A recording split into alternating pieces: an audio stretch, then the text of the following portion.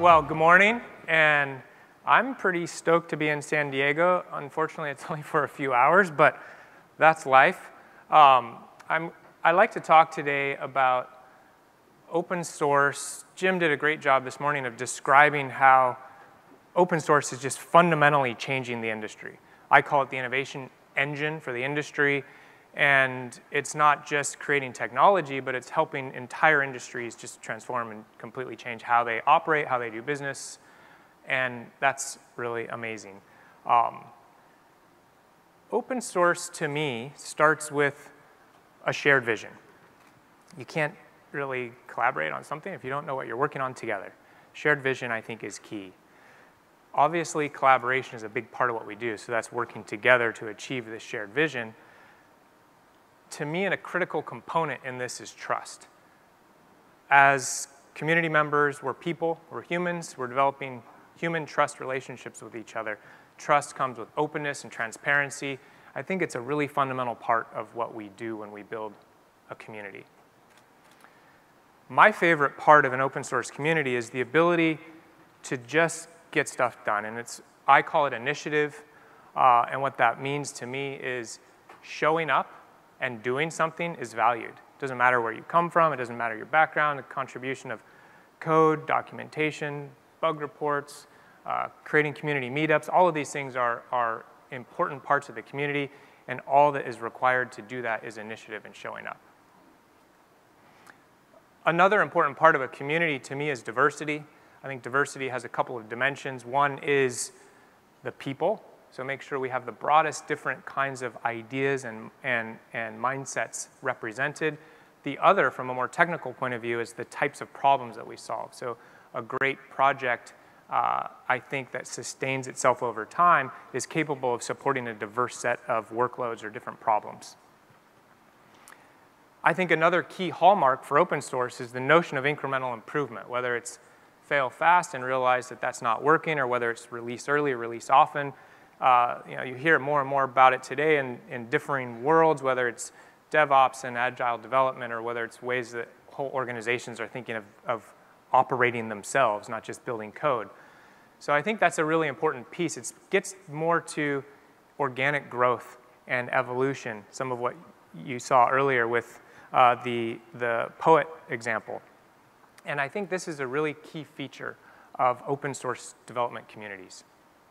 So ultimately, together, I think we're building a diverse community to write and maintain software to solve problems that users care about. Sounds pretty simple, and well, uh, we've done an amazing job of that. And so what you heard this morning was a bunch of examples of how the industry are changing, the industry is changing fundamentally. You look at a place like uh, GitHub, which has something, they, they label themselves as having over 100 million Git repositories, over 40 million developers, and two plus million organizations. I mean, those are staggering numbers. You look at some key large projects and the number of changes per day and the velocity of, of, of activity that happens within those projects, this is all staggering. And typically, Jim talks about the, the billions of dollars of, of transactions that are supported through all of this open source development, so you get the sense of the, the real commercial impact. Uh, you didn't get a chance to hear that today, but one of the things that I think is important is, is realizing that part of winning is with great power comes great responsibility. Like we have, we've done a lot, and I think we have to make sure that we continue to evolve throughout uh, all of this change and maintain some key features like that uh, transparency and trust and incremental improvements or organic growth as these key uh, tenets of how we operate together. So along the way, what's changed, I would say, fundamentally, uh, and, and I, I, say this with intention to create a visceral re response, it's the corporatization of open source. Uh, now, is that a positive or a negative? I don't know. Maybe it's up for you to decide. The positive is all of that amazing industry impact that we're seeing. Uh, the negative, I think, is how do we onboard a whole new set of constituents, both contributors and users, into a world that we have really evolved over the past decades. Uh, personally, I've been involved for about uh, 20, 25 years, so this, this is a long time uh, in, in coming. So we have a, a, a whole different set of dynamics. These are industry-wide dynamics. There's a lot of money at stake, which changes be people's behaviors. And I think we should be able, one, to acknowledge that, and two, really be mindful about how we carry forward to ensure that the core qualities of open source sort of withstand the test of success. Uh, I think success also, you, you see that kind of great responsibility, understanding from a user point of view what a project delivers is important. And, you, and know, we, we just learned about another type of vulnerability with uh, the, the issue with Ruby gems. This kind of high profile security concerns is something that will continue to uh, matter hugely to the industry. If we're, if we're impacting and, and changing entire industries, we need to make sure we do that in a responsible way and help, help people who are trying to use our software uh, to consume that safely. Another piece that, that I like to point out is there's a fundamental distinction between a project, an open source project, community-based development effort, and a product, a commercial effort. Uh, maybe fundamentally, one is about community creation, it's about the technology, it's about really evolving, uh, bringing features on into a software platform and evolving that platform architecturally soundly so that you can sustain it over time.